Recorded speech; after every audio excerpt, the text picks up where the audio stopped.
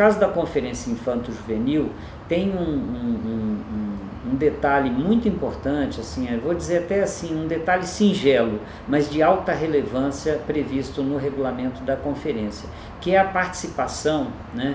É, todas as, as, os estados terão que, que destacar, né, entre os delegados que virão à conferência nacional, é, é, três representantes, não é isso, Rodrigo? Três representantes de comunidades locais, né? Aí são comunidades quilombolas, comunidades indígenas e assentados de reforma agrária.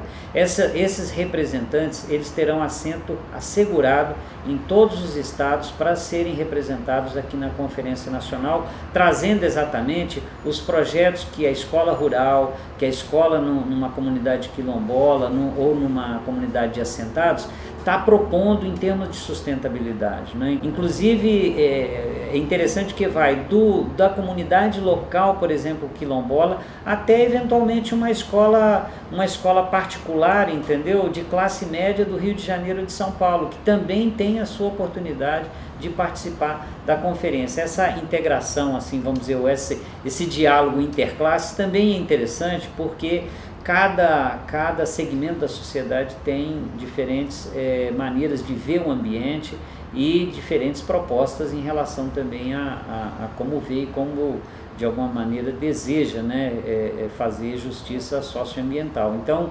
é, esse é um elemento interessante da Conferência Infanto.